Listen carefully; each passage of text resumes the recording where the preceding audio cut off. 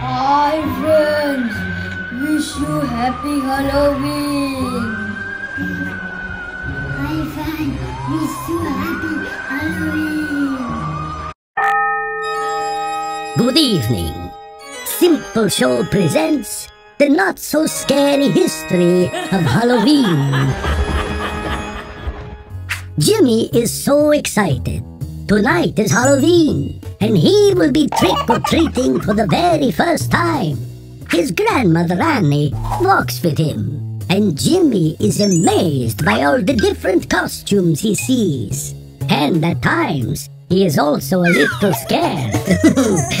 Good that Granny is around.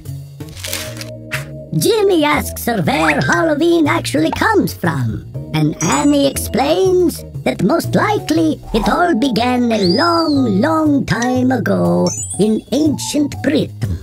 The Celts, who then populated the island, believed that October 31st was a magical day, where the veil between the world of the living and the dead was thinnest.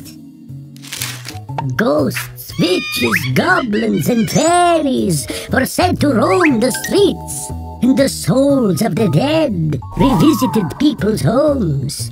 So everyone had to disguise and hide from the evil spirits and their tricks. Annie adds that trick or treating has its roots in the Celtic festival as well. People laid out food and drinks at their doorsteps as offerings to appease the evil spirits. Much later, the Catholic Church decided to transform the pagan festival into a religious celebration called Hallowtide, an occasion to honor and remember saints. At the time, the so-called criers, all dressed in black, rang bells around town, reminding everyone to remember poor souls. And the poor themselves went door to door, offering prayers for the dead in exchange for treats such as soul cakes.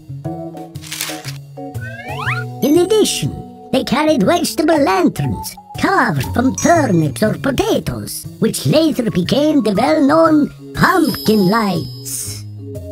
Finally, during the Great Potato Famine, the festival traveled with the Irish Catholics to America and became today's secular holiday that everyone can enjoy regardless of their religious beliefs.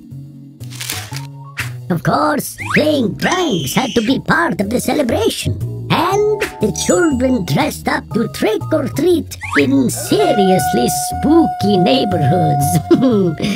Just like Jimmy tonight. Jimmy is surprised to hear that Halloween is a major celebration of dead spirits since the old ages. And he secretly wonders if he will meet a real ghost soon.